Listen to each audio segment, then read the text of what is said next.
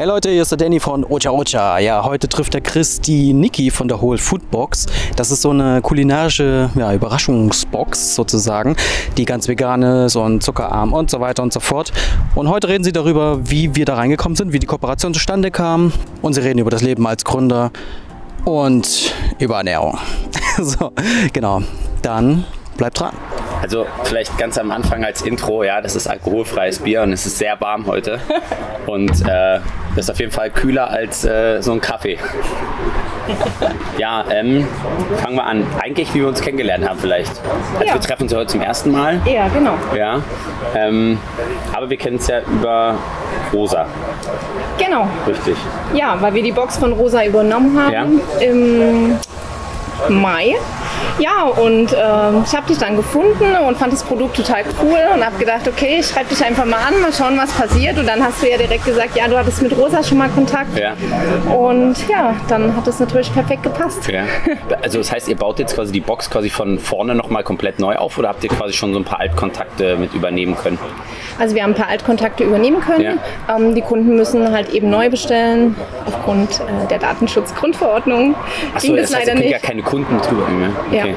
Wow. Genau, und ähm, ja, aber es, wir haben total viel Zuspruch bekommen. Wir haben jetzt die neue In- Insta-Seite aufgebaut Ja. und es wächst halt wirklich von Woche zu Woche, was halt ähm, sehr, sehr cool ist und wir bekommen Ja. auch total positiven Zuspruch von den Kunden. Ja.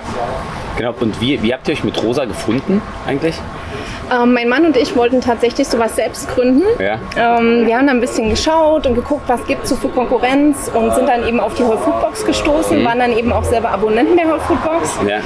Ja, und irgendwann hat dann Rosa gepostet, ähm, dass sie sich zurückziehen aus dem Geschäft, dass sie die Whole Food Box verkaufen. Ja. Mein Mann und ich saßen gerade in Österreich Ja. im Urlaub und haben gesagt, okay, wir schreiben die einfach mal an. Ja. Ja, dann ging das auch alles relativ zügig und ähm, einen Monat später ja, war die Whole Food Box dann tatsächlich uns. Sehr cool. Ja. Also ich glaube persönlich, äh, es ist ein, äh, finde ich ein gutes Konzept insgesamt. Also weil ich glaube, gerade wenn man so Sachen mal testen kann, gerade bei der ganzen Flut an äh, Sachen, die es mittlerweile Ja. gibt, Ja. auch einfach. Ja, Ist noch leer. Oh, noch. Mach jetzt schon mal so ein Ocha rein. Ja, sehr gut. ja. So, Nice. Reicht schon. perfekt. fertig, Genau, fertig. Holzwolle fertig. Sehr gut. Ja. Ähm, nee, äh, nee, also ich per- persönlich finde es ein sehr gutes Konzept, dass man auch äh, da eben Sachen mal probieren kann. Ja. ja? Äh, ich muss persönlich sagen, ich habe noch nie eine Box bestellt, also weder eine Food Okay. Box bei Rosa als eine, äh, selbst auch irgendwie, Dann wird es Zeit. ja. Ähm, ich, ich, geh, ich bin wirklich jemand, der geht gerne durch den Supermarkt Ja. und guckt nach neuen Sachen. Also das ist so für mich eigentlich so, wo ich sage, andere kaufen halt irgendwie, keine Ahnung, brauchen halt wahrscheinlich 20, 30 Prozent weniger Zeit. Und das ist eher so, ich Ja. laufe rum und gucke dann immer und dann habe ich auch die Möglichkeit, hinten zu lesen. Ja. Ja, und- ja. viele haben halt dazu auch keine Lust. Also viele wollen halt einfach bestellen Ja. und wollen, okay, sie ernähren sich halt zuckerfrei, weißmehlfrei, ohne Konservierungsstoffe. Und mit der Foodbox haben sie halt die Möglichkeit, einfach zu bestellen und sich überraschen zu lassen. Das heißt, also wie, wie ist jetzt äh, euer Bo äh, Foodbox-Foto? Also das heißt jetzt, wie, wie ist euer ähm, Fokus in der Box? Also, weil ich glaube, vorher war es ja vegan und ihr macht jetzt Genau, eher, was ist euer Fokus? Also generell, die Box bleibt genauso wie sie ist. Ja. Die Produkte sind vegan, weißmehlfrei, frei Ja. von Konservierungsstoffen, frei von Zusatzstoffen äh, und frei von Transfettsäuren. Also wir ändern am Konzept der Box nichts. Ähm, ja, generell ist die Box ja nicht nur für Veganer gedacht, sondern einfach für alle, die auf ihre Ernährung achten, die ähm, sich gesund ernähren wollen, Ja. die neue Produkte probieren wollen. Also wir wollen eine breitere Masse halt einfach damit ansprechen mit der Whole Food Box. Ja. Ähm, wir, wir bauen ja immer auch gerne ein paar Learnings ein. Ja. Äh, so Sachen, die wir auf unserem Weg lernen. Und ähm, eine Sache, die wir zum Beispiel haben, die uns ja wichtig ist, ist ja äh, wirklich auch eben zusatzstofffrei. Ja. Oft steht es ja immer irgendwie drauf, da steht keine Konservierungsstoffe, keine Zusatzstoffe. Dann habe ich trotzdem irgendwo ja, Ascorbin und Zitronensäure dabei. Das wird dann irgendwie als Vitamin C verkauft. Ja, genau. Ist, glaube ich, auch nicht überall schlecht. Teilweise, und das ist ja dann gerade der wichtige Punkt, es wird halt zur Konservierung gebraucht. Mhm. Ja, alles gut. Ähm, bei uns eben dieser klare Clean-Fokus. Ja. Was jetzt für mich quasi ein Learning wäre, äh, wäre auf jeden Fall, was sind zum Beispiel, wo ist Transfett zum Beispiel drin, wo wir nicht denken, dass Transfett drin ist? Also was wäre ein typisches Produkt, wo man sagt, das konsumiert eigentlich jeder? Oft ist es sogar in Müsli-Riegeln versteckt. Ja. Okay. Also in, in Müsli-Riegeln, die anscheinend ähm, ja, zuckerfrei sind Mhm. und gesund, ähm, sind oft einfach Sachen versteckt, wo man dann sagt, boah, das ist echt heftig. Ja. Und natürlich in allen ähm, ja, Produkten, die Richtung Schokolade gehen, halt Ja. gerade diese ganzen konventionellen Sachen. Ähm, da ist halt ganz, ganz viel einfach von diesen Transfettsäuren drin. Ja. Das heißt aber quasi jetzt, aber normales Öl, pures Öl hat keine, hat das keine Transfette, kann man sagen? Es kommt drauf an. Ja. Also da kommt es tatsächlich drauf an, da muss man jedes Öl dann einzeln Ja. betrachten. Okay. Gut. Ja. Das heißt also quasi, ja gut, das heißt, ihr müsst aber viel auch vorselektieren. Also Ja. kriegt ihr eigentlich Ja. schon selber an, dass Leute euch anschreiben mittlerweile Ja, schon? ja jetzt? tatsächlich Ja? schon. Ähm, wir haben jetzt schon ein paar Anfragen bekommen, ähm, wie kommen wir denn in die Eurobox? Ja. Wo wir den Leuten dann halt erklären und dann ähm, testen wir die Produkte natürlich erstmal und schauen dann, ob es halt auch wirklich in unsere Box passt. Ob Ja. halt einfach alles clean ist an Zusatzstoffen oder ob irgendwo ein Sirup drin ist oder doch halt irgendeine Ascorbinsäure oder was auch immer. Ja. Und es wird dann auch rigoros ausgeschlossen. Ja. Also da okay. machen wir auch keine Ausnahmen. Ja.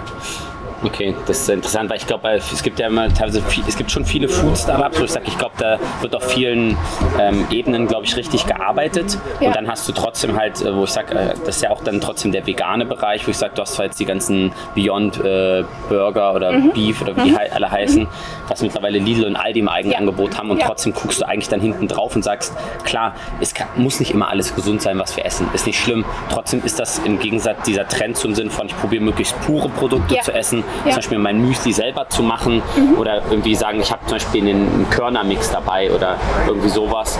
Ähm, Genau. Ist dann alles ist pur und dann habe ich aber solche Burger, die dann eigentlich, obwohl sie ja vegan sind, damit einen guten Zweck irgendwie guten Zweck ja, äh, erfüllen und quasi besser für die Umwelt sind, sind die trotzdem wieder verarbeitet, das ist eigentlich wieder schlecht für mein, Ja. schlechter für meinen Körper. Da ist auch nicht immer schlimm. Ich meine, wenn ich jetzt fünf Bier trinke, ist es auch nicht unbedingt äh, Beste, aber manchmal braucht man das, weil der Kopf braucht das. Genau. Ja.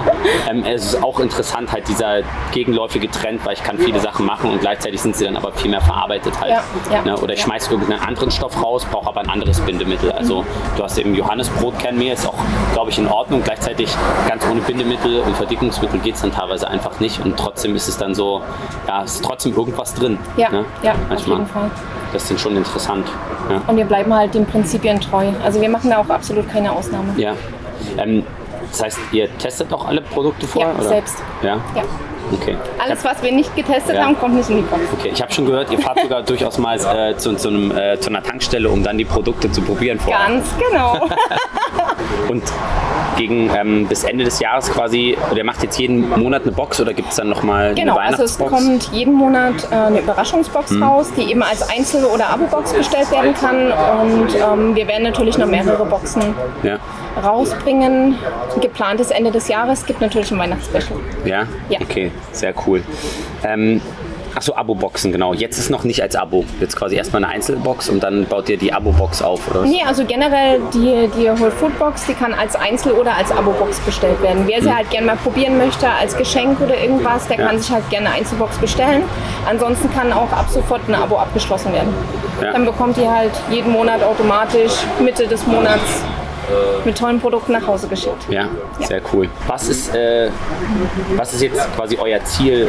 Oder habt ihr euch Ziele gesetzt? Also so als Gründer interessiert mich natürlich, Ja, was ist natürlich. ja, gut, Ziel habt ihr euch gesetzt, ja, aber was ist jetzt euer Ziel mal heute in einem Jahr? Also wir nehmen jetzt mal den 27.08. Ja, und dann äh, schreiben wir Niki nächstes Jahr nochmal, was ist euer Ziel für 27.08.2020? Ja, unser Ziel ist es natürlich, so viele Menschen wie möglich zu begeistern für eine ja, gesunde, vollwertige Ernährung. Ja. Ähm, ja, sie dabei halt einfach zu unterstützen. Vielen fällt es halt einfach schwer, sich darauf einzulassen, wie du vorhin schon gesagt hast, in den Supermarkt zu gehen. Viele haben da halt einfach keine Lust drauf. Und es ist halt für uns einfach schön, natürlich so viele Boxen wie möglich an die Leute rauszuschicken und dann halt irgendwann in dem Jahr hoffentlich in einem großen Lager zu stehen Ja. und ja, dann ähm, LKW-weise die Whole Ja. Food Boxen abholen zu lassen. Ja. Aber es ist jetzt ähm, wirklich gut, ähm, ja, so mit der Arbeit äh, zu vereinen. Ja. Weil man halt sagt, man hat halt so gewisse Vorarbeit. Klar, wir machen halt viel am Wochenende momentan, abends, aber damit kommen wir echt gut hin. Ja, also gerade ich, also ich denke persönlich, äh, also als Gründer, weil ich habe ja auch aus dem Studium raus gegründet, Ja. wenn man so Sachen parallel am Anfang machen kann, ähm, dann ist das schon gut. Äh, Ja. Ich glaube, ich, äh, also gerade wenn ihr ja irgendwie ein Einkommen habt, ist mal der nächste Schritt wäre ja wahrscheinlich, dass man sagt, entweder ihr reduziert beide stark oder halt äh, einer macht es Vollzeit und der andere, weil dann kannst du dich ja, kann der andere erstmal euch zusammen durchtragen. Ja. Ich glaube, es ist auch gut und es ist ja auch das, wo, ich, wo es eben darum geht, das irgendwie sehr ähm, ja, or- organisch wachsen zu lassen und nicht so dieses so, wow, krass, wir müssen das Ding in sechs Monaten zumachen und dann irgendwie so, dann hat man auch weniger Stress, weil man Ja. mehr Entscheidungen treffen kann, die eine Langfristigkeit angehen. Es ist ja auch einfach ein Hobby. Ja, Also es ist ja, ich ernehme mich ja selber nach den Prinzipien der. Box. Einfach aufgrund von meinen Autoimmunkrankheiten, die mich dazu gezwungen haben, mich so zu ernähren. Und seitdem geht es mir halt wirklich besser. Ja, Und deswegen ist es halt auch ein Hobby. ja. Ja klar, ja, Ho Hobby, weiß ich, also ich, persönlich- ich weiß immer nicht, ist das noch ein Hobby oder nicht, weil ich habe selber auch so, für mich ist es quasi, also für mich, für meine Ernährung ist es genau das perfekte Produkt, wo ich Ja. sage, da halt noch fünf, sechs Sorten, andere Anbieter, wo ich sage, ist auch nicht schlimm, wenn du mal was mit Stevia trinkst, bloß wir wollen halt die klare Kante halt treffen. Ähm, auch um sich später zu differenzieren, wenn immer mehr in den Markt reinkommen Ja. oder eben Aromastoffe und so weiter und das so clean wie möglich zu machen, weil es dadurch auch viel transparenter wird. Ja, also Fall, ja. ich habe zum Beispiel jetzt von der, von der habe es jetzt noch nicht, aber von der neuen Abfüllung, die morgen ist, habe ich jetzt quasi auch schon die ganzen Bestandteile, wo quasi jedes, wo der Hibiskus herkommt, die Orangenschalen, Ah, okay. äh, die Cranberries. Die Cranberries zum Beispiel, die haben mich total überrascht. Wo kamen die her? Weiß nicht, die Orangenschalen waren auf jeden Fall irgendwie aus Ghana. Ja, so, okay, krass. Okay. Ja, es ist halt sehr interessant so, ne? Ähm, Und ich glaube, Hibiskus war irgendwie aus der Türkei und so. Ähm, Und da ist ja zum Beispiel auch das Ziel, irgendwann mal zu sagen, okay, gut, fange ich nicht an, das dann irgendwann mal selber zu mischen. Probiere ich nicht die, alles, was aus Deutschland geht, irgendwie zu holen. Also ein Apfel, Erdbeeren hätte ich schon mal. Damit habe ich irgendwie auch schon ja, äh, 35 Prozent des Grundbestandteils selber besorgt. Ne? Ähm, und äh, alle solche Sachen. Hibiskus kriegt, glaube ich, sogar auch noch in Deutschland. Lemongrass etc. so weiter nicht. Aber ich sag mal, dann guckt man eben, ist es wirklich besser, Zitronen, Orangenschalen aus Spanien zu kriegen Ja. oder kann ich die Ja. jedenfalls so aus Afrika holen? Also weil die halt selber getrocknet sind. Ja. Ja. Ähm, ja. Insofern ist das ganz interessant und das ist für uns halt wichtig. Aber ähm, was ich eigentlich sagen wollte, ist, dass mit diesen Unverträglichkeiten etc., ich habe das früher teilweise im Studium oft mit Kumpels gehabt, gerade wenn der Stress anliegt und so, Leute dann sagen, boah, keine Zeit. Und dann so, boah, ich gönn mir eine Pizza abends. Und dann sagst so, Leute immer gesagt haben, ey Chris, wie, warum ernährst du dich, also ich glaube, ich erinnere mich nicht, ich bin jetzt kein Missionar, was Ernährung Ja. angeht, aber ich glaube, ich für, für einen Standarddeutschen bin, ernähre ich mich, glaube ich, schon ziemlich gesund und ausgewogen und guck drauf und eben auch so Sachen, ich habe schon Sachen dann teilweise gar kein Brokkoli gekauft, weil ich gesagt habe, eigentlich will ich Bio, aber der Bio ist in Plastik und der andere, und dann habe ich Ja. geguckt, was ich Ja. sonst essen kann, Ja. da was irgendwie lose ist oder so ähm, oder probiere möglichst auf dem Biomarkt einkaufen zu gehen und so und äh, wo dann Leute eben aber gesagt haben, warum ernährst du dich dann so gesund oder warum investierst du da trotzdem so viel Zeit rein? Wir haben ja so wenig Zeit, wo ich sage ja trotzdem am Ende des Tages ähm, muss ich ja irgendwie performen und brauche das quasi für meinen. Körper und quasi genau. das geht äh, ja mein, mein Körper ist meine Maschine. Ja, ja. und wenn ich da schlechtes Öl rein tue Ja. und äh, schlechten Sprit, dann, äh, dann kann da auch nicht richtig was rauskommen. Ich glaube, man kann einfach ja, besser denken und besser irgendwie, so, man fühlt sich besser, wenn Ja. man sich äh, probiert, gesünder zu ernähren. Dass man mal sündigt und so, das ist alles in Ordnung. Ja. Ähm, und äh, ich glaube, es geht einfach um die Alternativen, weil ja, Auf jeden Fall, ja. gerade eben auch was Getränke angeht, ist zum Beispiel auch so ein Ding oder auch selbst so Schokoriegel, jeder, der probiert abzunehmen, äh, auch mit Kindern und so weiter. Ich, ich bin den, durch den ganzen Supermarkt durch oder vorher schon 5000 Mal am Kiosk vorbei da Ja. und wir waren, haben eine Radeltour gemacht und dann irgendwie, das Kind wurde 5000 Mal gesagt, nee, kein Eis, kein nicht. Und dann stehst du irgendwie an dieser Kasse und da stehen nur Süßigkeiten. Ja. Was willst du machen? Also irgendwann wird der Mensch halt schwach und da musst du schon extrem stark sein oder extrem wollen, dass du irgendwie abnimmst oder irgendwie was oder das nee, dass du da einfach sagst, so okay, ne? Ja, ja. Und ähm, das ist dann einfach hart und Oder du hast eine Allergie. genau, Fällt es einfach. Das ist halt wirklich das, warum es mir so einfach so leicht Ja. fällt halt auch. ja. Genau, du musst ganz anders gucken, ne? Ja.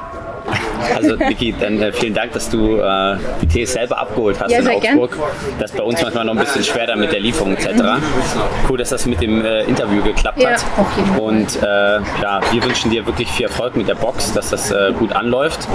Und äh, ja, ansonsten, wir waren jetzt schon in der Box drin. Die nächste Box kommt im Oktober. Gerne auf der Webseite vorbeigucken, abonnieren, also die Box, ja, und ansonsten unseren Kanal abonnieren, liken, kommentieren. Und danke Danny hinter der Kamera. Ja.